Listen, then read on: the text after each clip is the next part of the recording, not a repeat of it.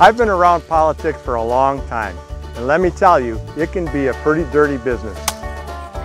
But rather than sling mud, let me tell you what I'd like to do as the next chair of the Democratic Party of Wisconsin. We will make year-round organizing a reality, and I'll raise the money we need to fund field offices around the state. I'll see that we evaluate the consultants we've used in the past and make sure that local people have input into their local races.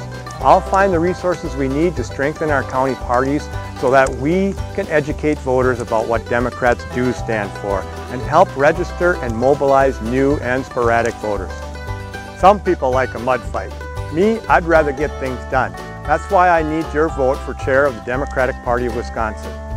These folks, they're going to need a shower.